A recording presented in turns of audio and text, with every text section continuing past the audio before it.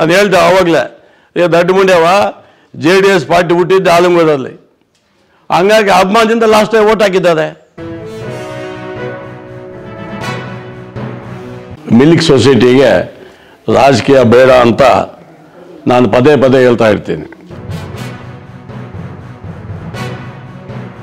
ಇವನು ಯಾವನಿಗೂ ಪುಕ್ಸಾಡಿ ದುಡ್ಡು ಬಂದಿದೆ ಅಂತ ಯಾವನಿಗೂ ಕಿತಾಬ್ ಇರ್ತಾರೆ ಒಬ್ಬ ಊರಲ್ಲಿ ಒಂದು ಐವತ್ತು ಒಂದು ಕಳಿಸ್ಬಿಟ್ಟು ಊರ ವಾತಾವರಣ ಹಾಳು ಮಾಡಬಾರ್ದು ಅಂತ ನಿಮ್ಮ ವಾಹಿನಿ ಮುಖಾಂತರ ನಾನು ಹೇಳ್ತಾ ಇದ್ದೇನೆ ನಾನು. ಯಾಕಪ್ಪ ಅಂದರೆ ಮಿಲ್ಕ್ ಡೈರಿ ಆ ಊರಲ್ಲಿ ಹಾಲು ಹಾಕುವವರು ಅವು ದೊಡ್ಡ ಮನುಷ್ಯರು, ಅವ್ರಿಗೆ ಬಿಡಬೇಕು.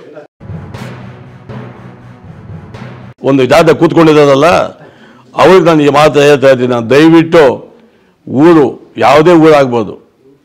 ಅದನ್ನು ಸ್ವಚ್ಛವಾಗಿ ಅಂದವಾಗಿ ಅವ್ರಿಗೆ ಬಿಟ್ಬಿಡಿ.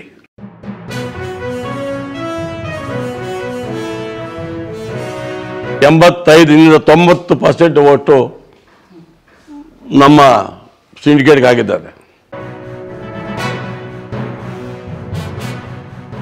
ಬಾಬಾ ಸಾಹೇಬ್ ಅಂಬೇಡ್ಕರ್ ಸಾಹೇಬರು ಸಂವಿಧಾನನೇ ಕೊಟ್ಟಿದ್ದಾರೆ.